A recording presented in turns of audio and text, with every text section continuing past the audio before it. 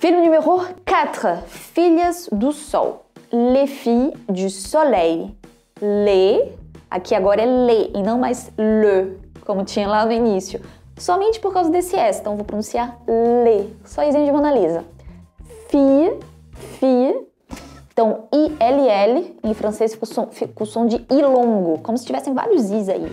Fille. Você não pronuncia o L, sabe? A língua não encosta no céu da boca, ela fica lá embaixo. Fille. Du, du. Atenção, olha aí, aquele famoso biquinho francês. Você faz boca de U e fala I.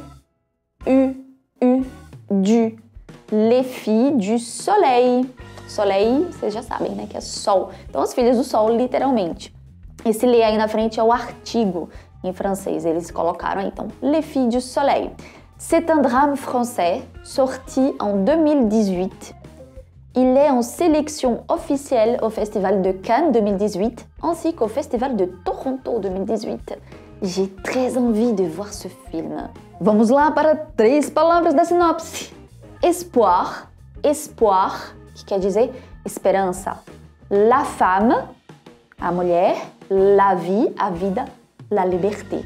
Esses daí são as causas pelas quais Les Filles du Soleil estão lá lutando, gente. Esse filme é bem forte, se passa no Kurdistan, uh, em commandant du bataillon, e il se prépare pour libérer sa ville de main des extrémistes. Mas se o seu objetivo for principalmente praticar o francês, não é o ideal para você, porque uh, fala-se outras línguas que eu não consigo identificar qual é nele, tá bom? Então tem pouco francês nele com relação aos outros que são 100% em francês. Mais je pense que ça vaut la peine de le voir.